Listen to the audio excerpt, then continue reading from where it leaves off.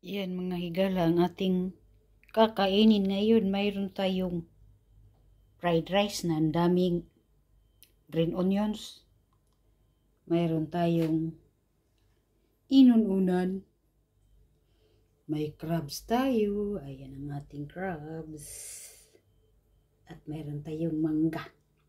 Yang mangga na yan, i ano ko na lang isiparate ko sa pag ano sa pagbibideo at mayroon tayong bagoong yan oh. may bagoong tayo spicy ayan ang ating imo mukbang or kakainin ngayon at ito ang ating crabs mga kapatid perting limpyo ko na niya eh hmm, mahal king crabs dire ang tabang Wag na po, 3 euro something.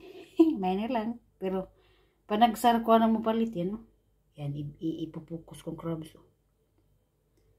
Ayan ang ating kakainin. Okay. At, yan na ho. Magumpisa na tayong kakain. At ipupukus ko ulit ang inununan. Oh. Tingnan niya. Mahal ng kilo ng isda eh. 13 euro something yan. Ayan. Okay. Ayan ang mangga. Okay, mag-umpisa na tayong kakain.